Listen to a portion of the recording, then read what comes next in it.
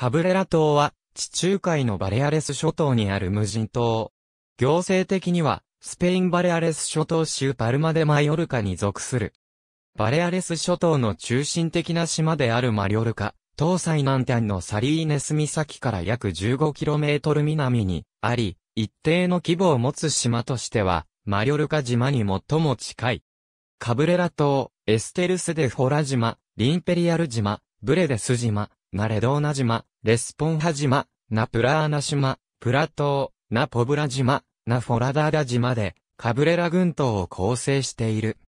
行政的には、マリョルカ島のパルマでマリョルカに含まれるが、カブレラ島とパルマは、約 60km 離れている。カブレラ群島マリーコールテレストリアル国立公園に含まれる。島の最高峰は172メートルのナピカモスケスである。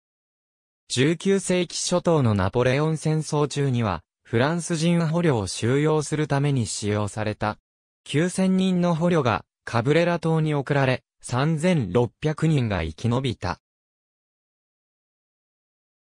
1916年後半には、オーストリア・ハンガリー帝国海軍の潜水艦が、機械系統の不具合で、カブレラ島に数時間停泊し、その後スペイン政府は防衛のために、カブレラ島を接収することを決定した。実業家のフアン・マルシュ・オルディナスは、カーラ・ガンドゥフと、ソーリャからやってきて、海上封鎖を避けて、潜水艦の担当者に燃料などの物資を販売したと主張している。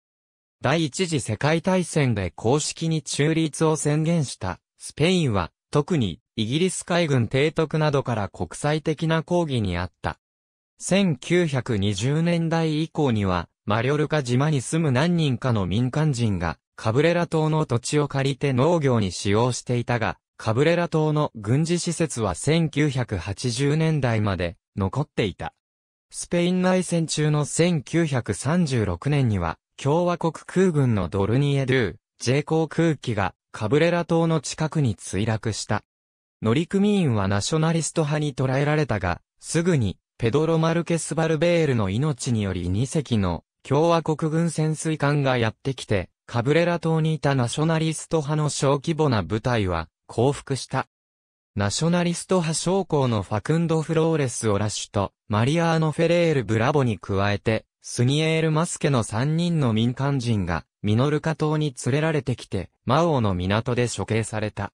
8月15日から9月4日には、アルベルト・バージョ隊の部隊がマリョルカ島への上陸に失敗すると、共和国軍はカブレラ島に離れた。バージョの計画は、カブレラ島に駐留していた CNT の部隊のために、マリョルカ島のすぐ南西にあるドラゴネーラ島に上陸し、着陸地点を誤ったことを偽装するというものだった。しかし、無政府主義者の CNT の部隊はこの作戦を拒否し、後にマリョルカ島に渡った。クリスト港では、激しい戦闘となり、部隊の残りは、クリスト港に到着する前にマナコールへの入り口の外側にあるさ、カバーナで殺された。第二次世界大戦中の1944年には、ドイツ軍の航空機がカブレラ島近くの海に墜落し、乗組員の片方であるジョーハナス・ブロッカーは死去した。